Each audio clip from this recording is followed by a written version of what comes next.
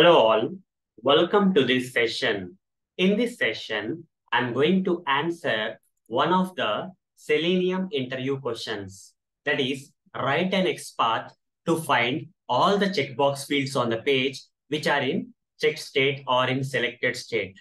Let me practically demonstrate to answer this question for you. So we have to write this kind of XPath expression. So if you can see, these XPath expressions are starting with double forward slash. That means it's a relative XPath expression. And generally the checkbox fields will have the input tag and uh, they have the type specified as checkbox. So at the rate type is equal to checkbox, we have to say. And also we should not be finding all the checkbox fields. Rather, we should be only finding the checkbox fields which are in checked state. As per this question, we have to only locate or find the checkbox fields which are in selected state or checked state. That's why I'm adding one more attribute known as checked attribute. In XPath expression, we have to write that as at the rate checked. Okay. If you don't write this part, it will find all, it will locate all the checkbox fields on the page, whether they are in selected state or not. But in this question, they're asking us to find the checkbox fields which are only in selected state. So we have to add this extra attribute known as checked. So let me practically demonstrate this right now. For that, I'll open the browser, take you to a sample application URL, omayo.blogspot.com. Once you're taken to the sample application URL, what you have to do here is right click somewhere on the page and select inspect. Now locate all the checkbox fields on the page. Now locate all the checkbox fields. I told you already, all the checkbox fields will have which input tag?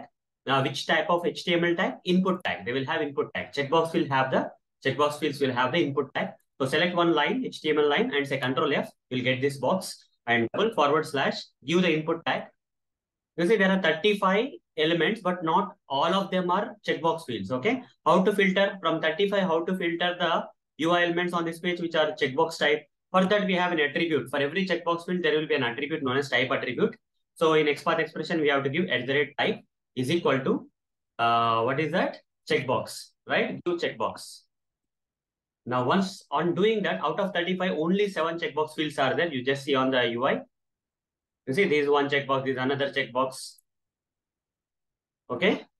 There are around, you know, seven checkbox fields. On this page, there are around seven checkbox fields, starting with this one to ending this one. Total seven checkbox fields are there. But in the checkbox fields, not all checkbox fields are in selected. For example, blue checkbox field is not in selected state, but this XPath expression is still locating the this blue checkbox field. But we have to locate only the checkbox fields which are in selected state. But if you see this uh, orange checkbox field, HTML code, there's an attribute known as check. But for blue checkbox field, there is no attribute like check because it is not in selected state.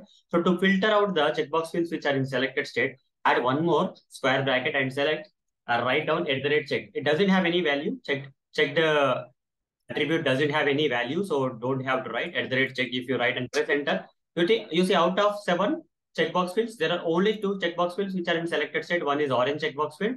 The other one is this uh, laptop checkbox field, orange and laptop. Okay, these are the two checkbox fields currently on the page which are in selected state. So hope you got an idea of how to write an XPath expression like this to locate the checkbox fields on the page using XPath expression which are in selected state.